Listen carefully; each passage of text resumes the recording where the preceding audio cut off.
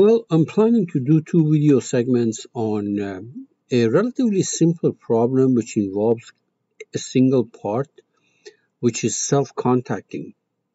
Uh, the only uh, uh, difference between this and some of the other contact, numerous other contact problems that I've done uh, uh, in this channel is that, first of all, I'm using a single part I'm not doing an assembly. And the second thing is that the elements that I'm using are extruded element or swept element. They are not the standard uh, four node or eight node tetrahedral uh, elements, which is the free uh, default free meshing in, in CATIA.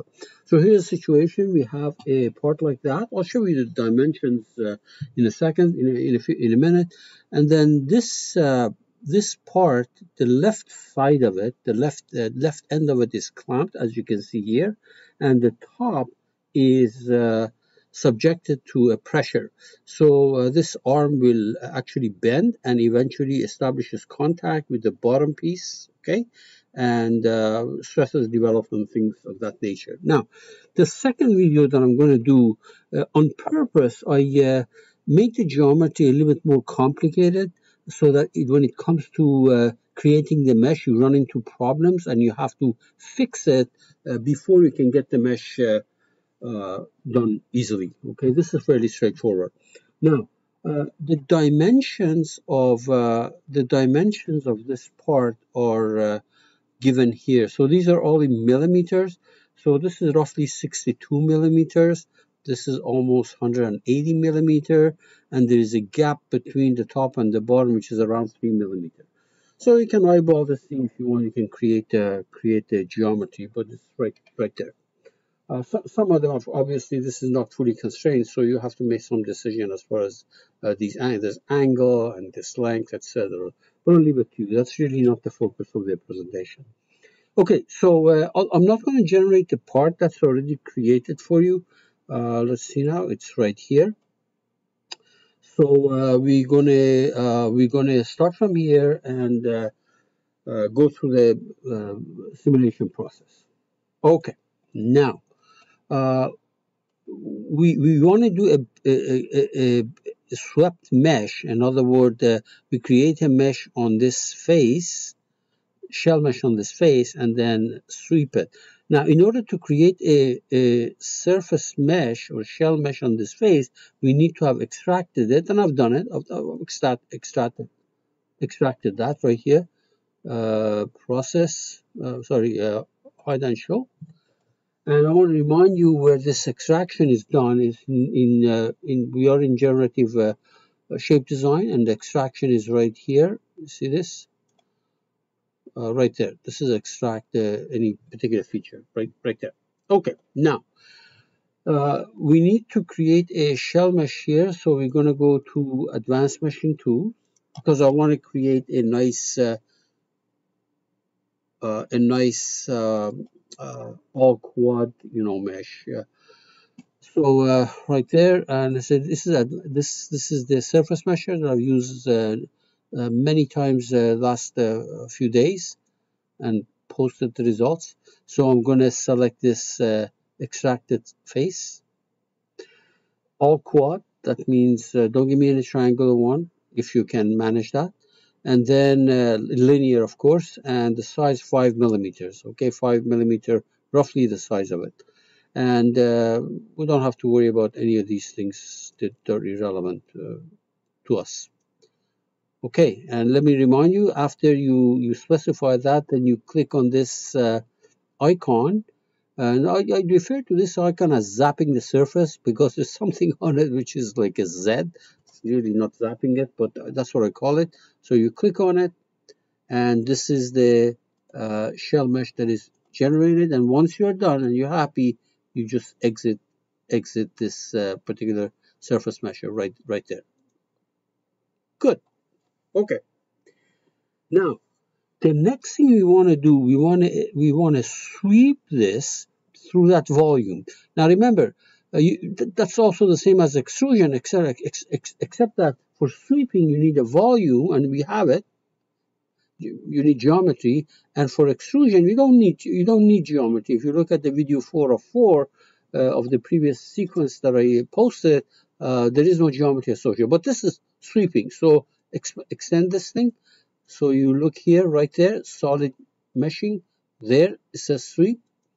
And notice that the first thing it asks you, if you look at the, the the prompt here, it says select a volume to mesh. Obviously, the volume is this or, or part basically. Okay. And then it says select, select the bottom face. That means one face where the mesh, mesh uh, shell mesh is sitting. So this side. And for the second, means the top is the other side. Okay. And then it says how many layers. If you go to the second tab, uh, how many layers? Uh, now let me look at my uh, slide we have uh, it looks like we have maybe eight eight layers okay so I'm gonna say eight that's already eight and then you say apply no problem when I try to do the same thing in the following follow-up video segment you're gonna run into a problem and you have to fix it and you worry about it then okay good now remember the purpose the, the purpose of this surface mesher was to create to show that we can we can sweep. So we're done with this. We're done with this surface mesher. You can't delete it, but you can deactivate it. And you have to deactivate it while you're in advanced meshing tool right there. Okay? It's deactivated. All right, but, uh, and, and then we're done. The rest of the problem is done in the, uh, the uh, uh generative structure analysis. So let's save this thing, by the way. File, save management, analysis, save as, uh, analysis 2. I already have something called analysis 1 there, so I changed the name. Very good. So we switch workbenches. We go to uh, uh, generative structure analysis. I want to remind you, if you haven't done it so that you have, if you haven't custom, customized your uh, interface so that you just click here and it takes you to other places, you can go to start, uh, analysis and simulation, generative structure analysis. So it takes you there. First of all, I don't need to see this extract anymore because we have already uh, used it. Let me hide it. And now you can generate the mesh. You can look at the mesh the usual way. You put the cursor on the nodes and elements, right click mesh visualization.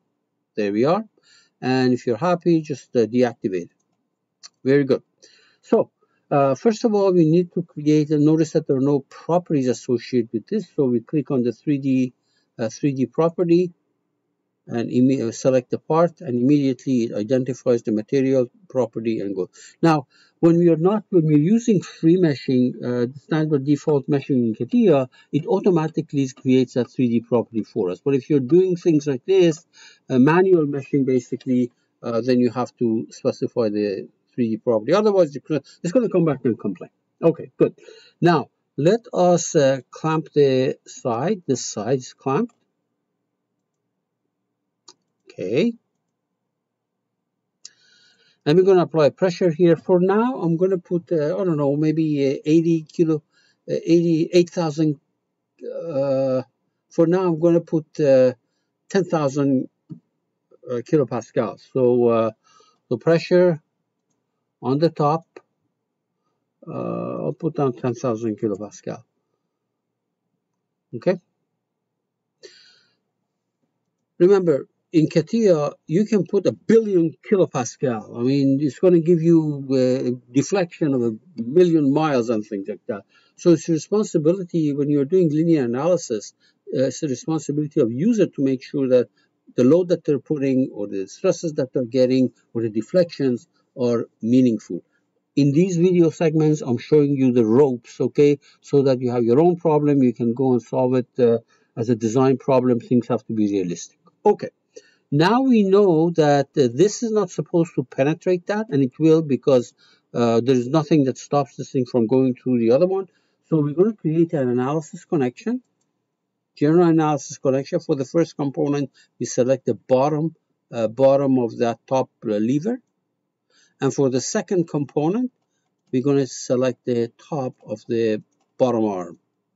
Okay, and we say okay so a connection has been created here now we have to declare it as contact connection so look at the connection properties. Remember, connection properties has several uh, sub toolbars in it. The first one is called face to face, and that's what you want. This is the one that we want. The next one is called uh, uh, distance analysis connection, and depending on the type of problem, you have to use one or the other. So this is a face to face, and there is a contact, and you select that connection that you created either from here or from the tree. That's entirely up to you. And then we say OK. Good. Now, assuming that uh, we didn't forget anything, uh, let's save this thing and, and run it. It's always a good idea to save and run because in case CATIA hangs or uh, or uh, you inadvertently chose a very small element so that uh, you know it takes a long time and you kill the job, then at least you have saved up to that point, stuff up to that point. So uh, calculator right there, compute, compute all. And give it give it time hopefully it'll finish. And it did. Okay so uh, first thing that we're going to do is plot the deformation and notice that uh, the scale for deformation is uh, I'll, I'll, make it one the real the real deformation right there okay and uh, then you look at the, for example, you look at uh, the von Mises stress. Uh, where is that? Material shading. There we are. And you can animate it. If you want to see the elements simultaneously, go to the question mark in this rendering, the last one. Okay, good. And you can animate it. There. So notice that the contact has been established and we say OK. Uh, now, in the event that you want to see the stress distribution on, for example, uh, or, or, let's say the uh, contact uh, stress distribution uh, at, at, you know on, on this arm or the top, uh, the, the, bottom of the top arm. So what you need to do is to create you need to create uh, uh, groups. So uh, let me deactivate this. Deactivate that. So we're going to create a surface group. These are the way the groups are done right there. Uh, surface group. Where is the surface group? Uh, not that one. I think this is surface group. Surface group by neighborhood. I don't want surface group by neighborhood. I want surface group. So the first one is going to be body surface group right there, right there. Surface group. So you can select this uh, uh, this support. So okay. Uh, let's also do one for the top one. Another one with the top uh, top arm. Okay, good. So uh, activate the activate the, the stress, von Mises stress, double click on it and select whatever you want. So I want, for example, let's look at the group one, which is the top of the bottom arm. There. Now notice that this effectively is a beam under bending, and that's why the biggest stress is at the uh, at, at, at, at the uh, at the support right there. Now, if you want to see the other one, the other one is group two, which means the the bottom the bottom of that uh, top piece, top arm, the biggest stress is at the uh, at uh, at the edge, and the reason should be obvious because the reason should be obvious because this edge establishes contact with the top uh, top top of the arm, bottom arm first. Okay, that's why the biggest stress is right there because that's the first place that it touches the bottom arm. So uh, this is uh, this is all done. And by the way, let's look at see the maximum stress happens to be you know uh, if you want to know where it is, you click on the this icon here. See that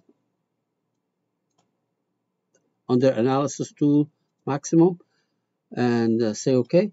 The maximum stress happens to be in maximum von Mises stress happens to be in uh, in in this area, somewhere somewhere in this area. Okay.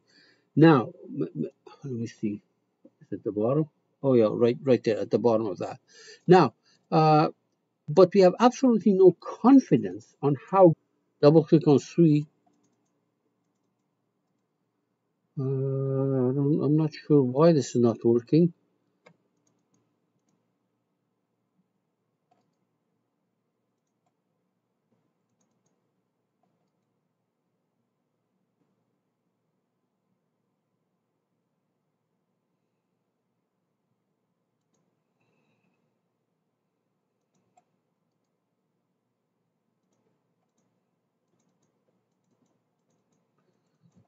hung on me. Okay, they'll take care of uh, they'll take care of it. Good luck. The second video, the follow-up video video segment is a different geometry, a little bit more complicated, and the machine runs into problem, and I have to show you how to fix it.